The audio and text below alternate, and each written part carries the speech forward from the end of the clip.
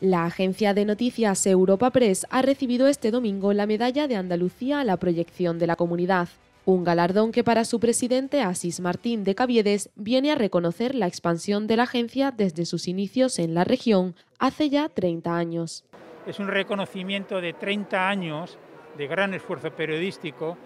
partiendo de una organización muy humilde 30 años atrás, a lo que somos hoy 70 personas, 70 profesionales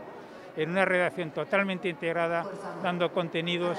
en texto, audio, vídeo y foto. De verdad, un verdadero éxito, que es lo que reconoce la Junta de Andalucía. Y para mí, como presidente de Europress, un gran honor.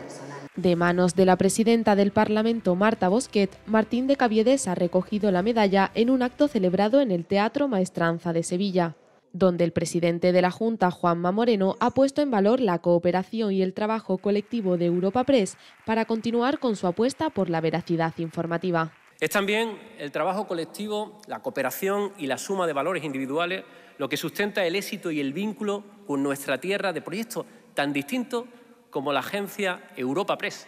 que celebra ni más ni menos que tres décadas informando de forma veraz de Andalucía se reconoce así la profesionalidad diaria de una plantilla que no ha parado de crecer para ofrecer desde las ocho provincias andaluzas toda la información adaptada a los contenidos digitales, lo que convierte a Europa Press en un medio de comunicación digital por derecho propio.